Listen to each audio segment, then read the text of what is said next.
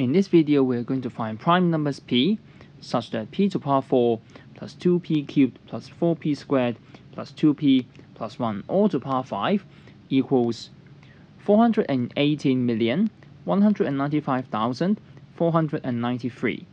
Before we move on, don't forget to give a like, subscribe to our channel, and turn on post notifications.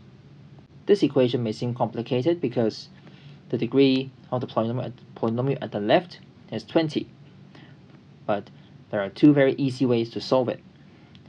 The first approach is that I'm going to try to find the integer whose fifth power is equal to this number at the right.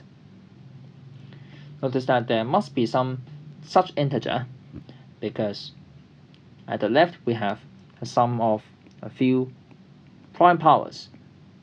And since a prime must be an integer, that means the sum must be integer as well. Now for fifth powers of integers, we can take a look at the um, last digit, the ending digit of the power. Notice that if we just focus on the last digit of the base,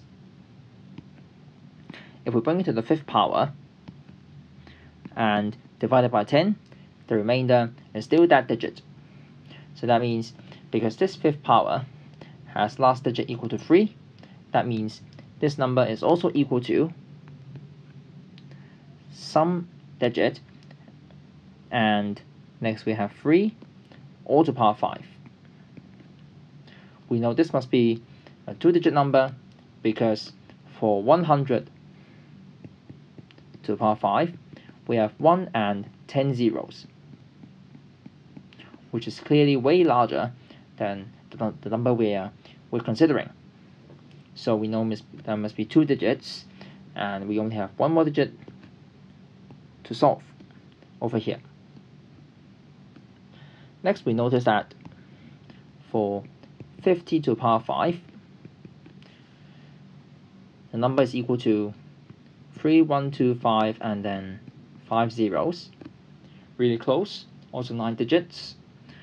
Whereas for 60 to the power 5, is equal to 7776 and then 5 zeros. So we know that this fifth power must be between 50 and 60 to the power 5. And we know that the last digit is 3, so therefore this digit is actually just 5.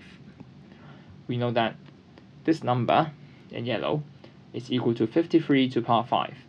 So that means we're supposed to solve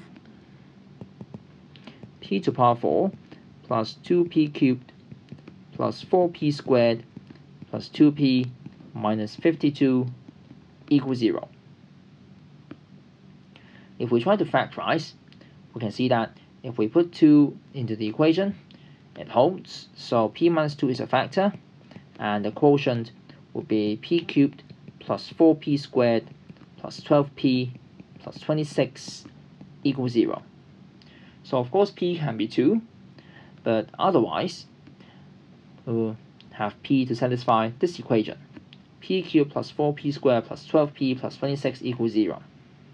But for this, this is actually an increasing function, at least for the case when p is non-negative, and when p equals 0 is already 26, so it's always larger than 26, so it's always positive.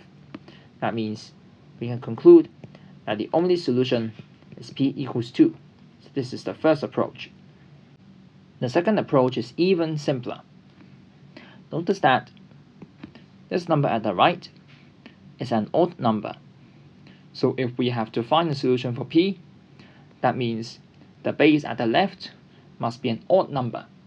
So that means p to the power 4 plus 2p cubed plus 4p squared plus 2p plus 1 must be odd. So now since these terms must be even, they're all multiples of 2. So that means p to the power 4 plus 1 is odd. Now that means p to the power 4 is even. But since p is a prime, we specified that. So there's only one choice, which is that p is even, and so p equals 2. Then we can check by putting p equals 2 into the equation. We have the left to be equal to 53 to the power 5, and it indeed holds. The equation indeed holds. So that means this must be the only solution and our final answer. Please feel free to share ideas in the comments. Thank you for watching. See you next time.